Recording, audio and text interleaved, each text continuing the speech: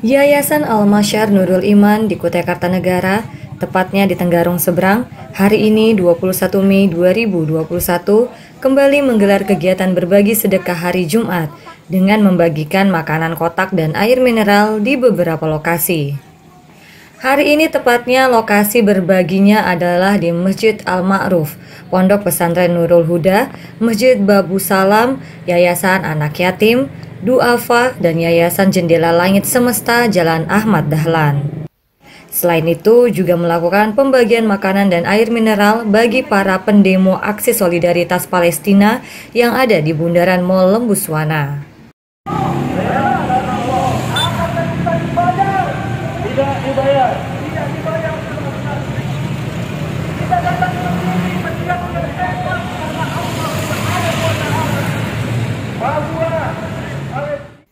Kegiatan berbagi sedekah hari Jumat adalah merupakan kegiatan rutin setiap hari Jumat yang dilakukan oleh Yayasan Al-Masyar Nurul Iman bekerja sama dengan The Istana Ballroom Singapore, The Orange Ballroom Singapore. Kemudian kegiatan ini juga melibatkan beberapa donatur, di antaranya restoran Menara Gading Samarinda, Warung Pojok Mall Lembuswana, dan pemancingan Kilo 5 Loajanan, serta melibatkan Direktur Eksekutif sebagai donatur tetap, yakini Dr. Haji Farad Wajedi.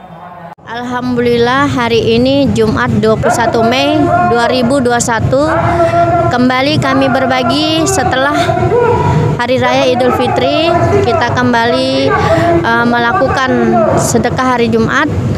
Alhamdulillah hari ini kami membagikan sedekah hari Jumat berupa nasi kotak sejumlah 350 kotak yaitu yang kami bagikan dari donatur kami yaitu The Oran Ballroom Singapura, The Istana Ballroom Singapura bekerja sama dengan Yayasan Pondok Pesantren Al Masar Nurul Iman dan Restoran Menara Gading, Warung Pojok Mall Lembuswana, Rumah Makan dan Pemancingan Kilo 5. Alhamdulillah semua kami sampaikan hari ini dan termasuk kami membagi nasi kotak kepada acara solidaritas peduli Palestina yang dilaksanakan di uh, Bundaran Mall Lembuswana.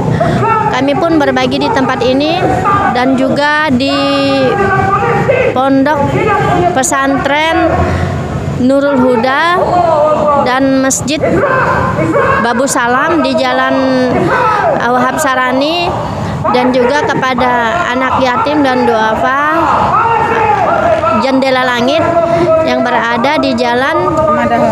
Ahmad Dahlan.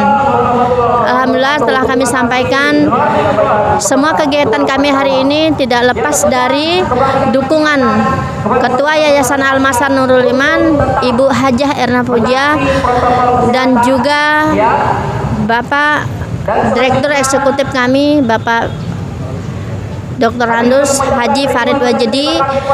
Kesempatan ini melalui Sekretaris Yayasan Al-Masyar Nurul Iman juga menyampaikan informasi penerimaan santri baru jelang Madrasah Sanawiyah dan Madrasah Aliyah untuk program tahun ajaran 2021-2022. Yayasan ini memiliki visi untuk melahirkan calon pemimpin yang soleh, cerdas, dan unggul dengan menghadirkan program unggulan Tafiz Al-Quran, bilingual learning, dan cara cepat baca kitab.